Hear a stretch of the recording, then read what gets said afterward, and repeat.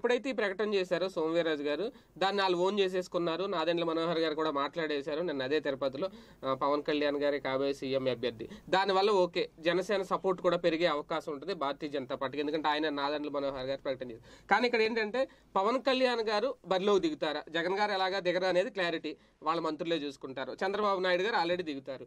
కానీ ఇక్కడ పవన్ కళ్యాణ్ గారు కనుక బరిలోకి దిగితే ఓకే వైసీపీని విమర్శిస్తారు జగన్ విమర్శ ఇది పక్కన పెట్టేద్దాం. కానీ చంద్రబాబు గారిని విమర్శించాలి. ఆల్రెడీ బీజేపీ ఖచ్చితంగా టీడీపీని విమర్శిస్తుంది చంద్రబాబు. కానీ జనసేన నాయకుడుగా పవన్ కళ్యాణ్ గారు ఆ సాహసం చేస్తారా? అదే చేయకుండా ఇంకా తీసుకొస్తే కనుక ఇంకా ఉపయోగ ఆయన ఇంకా ఇక్కడికి వచ్చి కూడా మళ్ళీ జగన్నే తిట్టి జగన్నే విమర్శిస్తా కూర్చుంటే అది కలిసి వస్తుందా అది రేపటి మీటింగ్లో తేలాలి. అసలు ఏదో రోడ్ రోడ్ మ్యాప్ వేస్తున్నాం అంటున్నారు ఆయన వస్తారు అని అంటున్నారు. చెప్తాను కూడా 200 అన్నారు భీమవరం వైజాగ్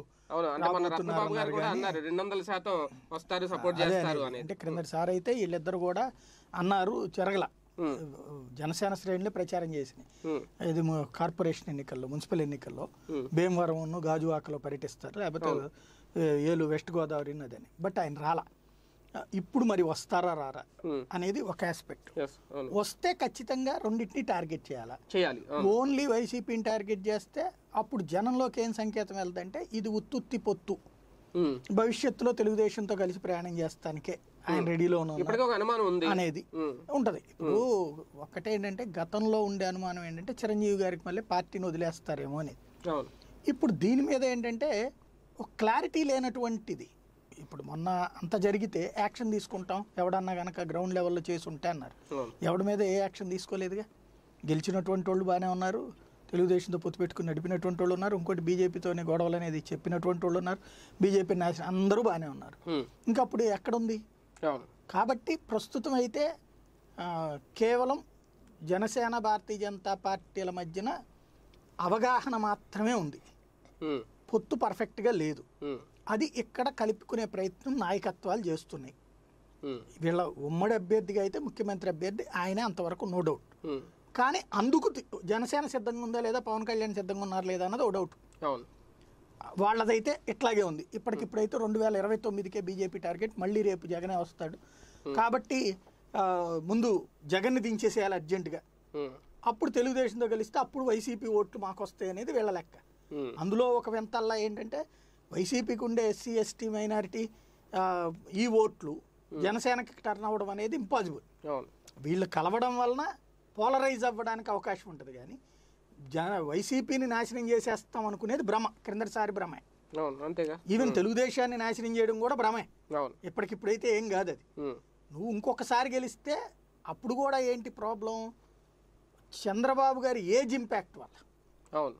అంతేగాని లేకపోతే తెలుగుదేశం కూడా పదిసార్లు రెండు పదేళ్ళు ఓడిపోయి మళ్ళీ పవర్లోకి వచ్చింది కదా ఆంధ్రప్రదేశ్లో. కాబట్టి అంత సులభం కాదు అది.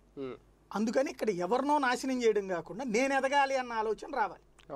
ఒకడు నాశనం అయితే నాకు ప్లేస్ వస్తుంది అని కాదు. నేను ఎదిగితే నాకు ఒక ప్లేస్ వస్తుంది అనే లెక్క ఉండాలి. అలా ఉండాలి అంటే గనక ఈ స్ట్రాటజీ క్లియర్గా ఉండాలి.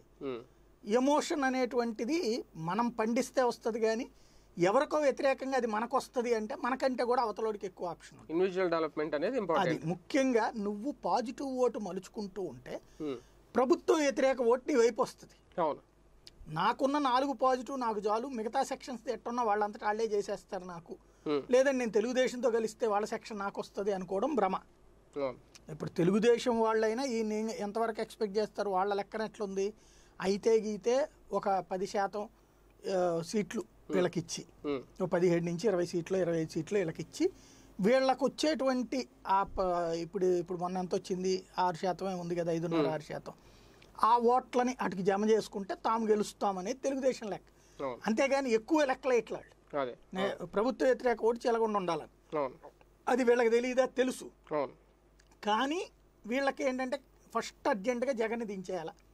జగన్ మీద విపరీతమైన ద్వేషం ఉంది కాబట్టి బాబు మళ్ళీ వచ్చినా మనకు నష్టం లేదు. వాళ్ళైతే మనల్ని ఎక్కువ తిట్టట్లా. వైసీపీ అయితే మనల్ని ఎక్కువ తిడుతుంది. ఈ కాన్సెప్ట్తో నడుస్తోంది. ఇప్పుడు అలా కాదు. మేమిద్దరం పర్ఫెక్ట్గా ఉన్నాం జోడీగా ఉన్నాం. ఎప్పటికీ తెలుగుదేశంతో కలవం అనేది బీజేపీ క్లియర్గా చెప్తుంది. అవును. బీజేపీ నుంచి అదే మాట వీళ్ళ దగ్గర నుంచి. వచ్చినప్పుడు వీళ్ళ కూటమిని జనం నమ్ముతారు. ఆ మాట పెద్ద ఆయన నోట్లో నుంచి రావాలి.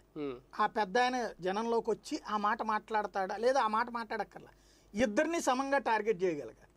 అలా చేస్తే నడుస్తుంది. అలా చేయనప్పుడు ఏమవుద్దంటే అనుమానం అలాగే ఉంటుంది పై పైన నడుస్తుంది రైట్